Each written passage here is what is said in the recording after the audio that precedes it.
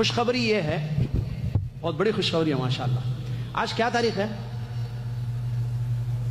اٹھائیس دلقادہ انشاءاللہ دو تین دن کے بعد وہ دس دن شروع ہونے جا رہے ہیں کہ جن میں نیک عمل اللہ تبارک و تعالیٰ کو ہر چیز سے زیادہ محبوب ہے۔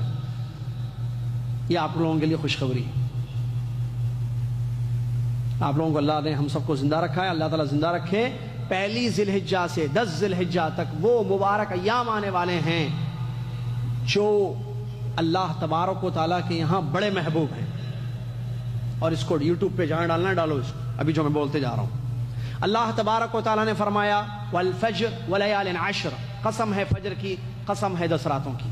اللہ تبارک و تعالیٰ نے ان دس دنوں کی جو پہلی ذلجہ سے دس ذلجہ تک کے ایام ہیں، ان کی قسم کھائی اللہ تعالیٰ نے۔ اور اللہ تبارک و تعالیٰ جب کسی چیز کی قسم کھاتا ہے، تو اللہ نے اس میں جو فضیلت رکھی ہے، اس کی وجہ سے قسم کھائی جاتی ہے۔ جیسا کہ اہل علم کا قول ہے۔ تو ان دس دنوں کی قسم اللہ پاک نے کھائی ہے۔ جیسا کہ صحیح تفسیر کی ولیال عشر، جو حافظ ابن کثیر رحمۃ اللہ نے بیان کیا ہے۔ فرسٹ ذی الحجہ سے ٹین ذی الحجہ تک۔ قسم کھائی اللہ نے ان دس دنوں کی۔ رسول اللہ صلی اللہ علیہ وسلم حدیث میں فرماتے ہیں صحیح حدیث بخاری کی ما من ایام العمل الصالح فيها يفيهن احب إلى الله من هذه العشر. قيل ولا الجهاد في سبيل الله قيل يا رسول الله ولا الجهاد في سبيل الله قال ولا الجهاد في سبيل الله الا رجل قد خرج بنفسه وماله فلم يرجع من ذلك بشيء. الحديث وكما قال رسول اللہ علیہ وسلم فرماتے ہیں، ان دس دنوں کا نیک عمل اللہ تعالیٰ کے یہاں ہر چیز سے زیادہ محبوب ہے۔ باقی دنوں میں جتنے اعمال کیے جائیں، ان سے زیادہ اچھا ان دس دنوں کا نیک عمل ہے۔ تو آپ سے پوچھا گیا، کیا جہاد سے بھی افضل ہے؟ فرمایا کہ جہاد سے بھی افضل ہے۔ اللہ یہ کہ وہ آدمی جو نکل چکا ہے اپنے نفس اور مال کے ساتھ اور لوٹ کر نہیں آیا ہے۔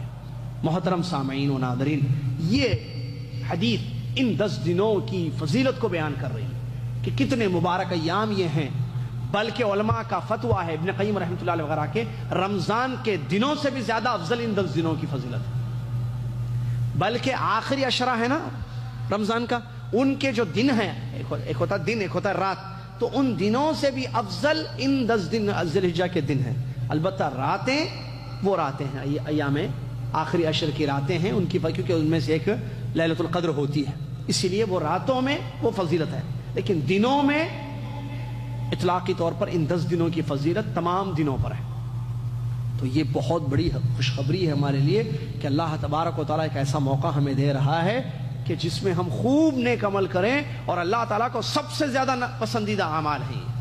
جب اللہ تعالیٰ اس کا فائدہ کیا ہے؟ اگر ہم وہ کام کریں گے جو اللہ کو زیادہ پسند ہے تو اللہ تعالیٰ ہم سے خوش ہو جائے گا، اللہ راضی ہو جائے گا ہم سے۔ جب اللہ ہم سے خوش ہوگا، اللہ راضی ہو گیا، ہماری دنیا بھی بن گئی، ہماری آخرت بھی بن گئی۔ آدمی دنیا بنانے کے لیے پیسہ کماتا ہے، سہولیات کا انتظام اپنے گھر میں رکھتا ہے تاکہ دنیا اس کی سکون سے گزرے۔ لیکن دنیا بنتی ہے نیک عمل سے۔ اللہ تعالیٰ نے فرمایا، من عمل صالحا من ذکر او انثى وهو مؤمن فلنحيينه حیاتا طیبہ ولنجزيهم اجرهم باحسن ما كانوا يعملون جو نیک عمل کریں گے، مرد ہو یا عورت، اس حال میں کہ وہ مومن ہیں، تو ہم ان کی زندگی کو بہترین بنا دیں گے۔ ضرور بضرور ان کو اچھی زندگی گولڈن لائف عطا کریں گے اور قیامت کے دن ان کے کیے کا بہترین بدلہ ہم ان کو دے دیں گے۔ تو حیات طیبہ، وعدہ ہے اللہ کا عیسائیت میں۔ ان لوگوں کے لیے جو ایمان کے بعد عمل صالح کرتے ہیں۔ عمل صالح، نیک عمل کرنے کے دس دن آ رہے ہیں۔ اور ان میں آیت میں تو عمومی طور پر ہے کہ کبھی بھی کوئی نیک عمل کریں گے، ایمان آنے کے بعد ان کی زندگی بہترین بنائی جائے گی۔ گولڈن لائف ان کو دی جائے گی۔ اس حدیث میں تو خوشخبری ہے کہ دس دنوں کا نیک عمل اللہ کو باقی دنوں کے اعمال سے زیادہ محبوب، زیادہ پسندیدہ ہے۔ تو کتنا بڑا چانس مل رہا ہے ہمیں کہ پہلی ذلحجہ سے ہم تیار ہو جائیں نیک عمل کرنے کے لیے، خالص اللہ کے لیے۔ کیا کرنا ہے نیک عمل؟ نیک عمل بہت ہے نماز پڑھنا نیک عمل قرآن پڑھنا نیک عمل بیمار کی تیمار داری کرنا نیک عمل مسافر کی مدد کرنا نیک عمل حاجیوں کی خدمت کرنا نیک عمل پڑوسیوں کا خیال کرنا نیک عمل ماں باپ سے ادب سے بات کرنا نیک عمل ایک دوسرے کو سلام کرنا نیک عمل ایک دوسرے کے کاموں میں ہیلپ کرنا مدد کرنا نیک عمل قرآن کی تلاوت نیک عمل ذکر و اسکار نیک عمل دعائیں پڑھنا نیک عمل درود شریف پڑھنا نیک عمل نیک عمل بہت ہیں قبرستان جانا قبرستان کی زیارت کرنا نیک عمل۔ بہت ہے نیک عمل۔ ان دس دنوں میں ایک اور ایک بڑا نیک عمل ہے، وہ ہے بیت اللہ کا حج۔ جو لوگ حج کرنا چاہتے ہیں، تو اس میں کوئی شک نہیں ہے کہ یہ بھی بہت بڑا عمل ہے۔ کیونکہ یہ اسلام کا ایک رکن ہے۔ پانچ میں سے ایک رکن یہ ہے کہ بیت اللہ کا حج کریں۔ اسی طریقے سے جو حج نہیں کر رہے ہیں، ان کے لیے ایک بہت بڑا نیک عمل ان دس دنوں میں خصوصی طور پر ہے، اور وہ ہے عرفات کے دن کا روزہ۔ حدیث میں نبی صلی اللہ علیہ وسلم سے سوال کیا گیا، عرفہ کے روزے کے بارے میں تو آپ نے فرمایا کہ سال بھر کے گناہ بخش دیے جاتے ہیں اس سے۔ اب اس میں ایک مسئلہ یہ آیا کہ عرفہ کے دن کا روزے کا مطلب جب یہاں عرفہ ہوگا سعودی عرب میں تو پوری دنیا والے اسی دن روزہ رکھیں گے یا نو تاریخ کے دن روزہ رکھیں گے؟ سوال، جواب دوسرا صحیح ہے، نو تاریخ کے، یہی علماء کا فتویٰ ہے کہ نو تاریخ کے دن روزہ رکھیں گے۔ اس لیے کہ حدیثیں جو آئی ہیں اس میں دو الفاظ ہیں، ایک سوم یوم عرفہ ہے اور یوم تاسع ہے ایک حدیث میں۔ نبی ایک حدیث میں یہ ہے کہ عرفہ کا دن اور ایک حدیث میں ہے کہ نو تاریخ۔ تو اگر ہم عرفہ کا دن مراد لے کر ساری دنیا میں جب یہاں عرفہ کا دن ہوگا، اس دن روزہ رکھیں گے، تو دوسری روایت میں نو تاریخ کا جو لفظ آیا تو نو تاریخ تو نہیں ہوئی آپ کے پاس۔ تب آپ کیسے روزہ رکھ رہے ہیں؟ اسی لیے علماء نے یہ فتوا دیا ہے کہ آپ اپنے ملکوں میں جب نو تاریخ ہوگی، اسی دن آپ عرفہ کا روزہ رکھیں گے۔ یہ بہت بڑا عمل ہے۔ اس سے سال بھر کے گناہ معاف ہو جاتے ہیں اور یہ دس دنوں میں سے ایک دن کا عمل ہے۔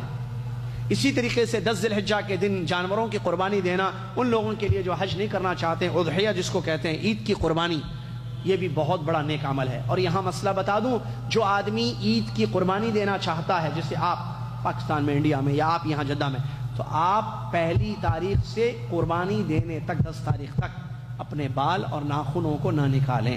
کیا اپنی، آپ کے بیوی بچے بھی اس میں شامل ہیں؟ نہیں۔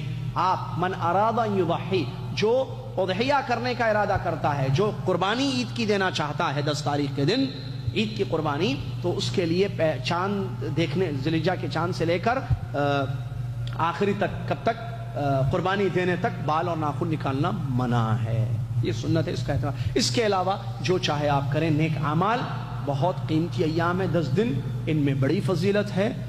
علم حاصل کرنا بھی ایک بہت بڑی عبادت ہے۔